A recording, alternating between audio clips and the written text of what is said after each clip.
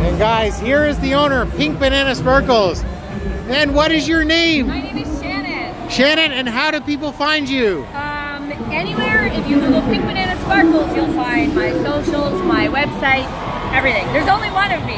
Excellent! Isn't that awesome? And why is it called Pink Banana? Because what is Pink Banana Sparkles? It's anything. Ah! and this tree is amazing. Thank you. Uh,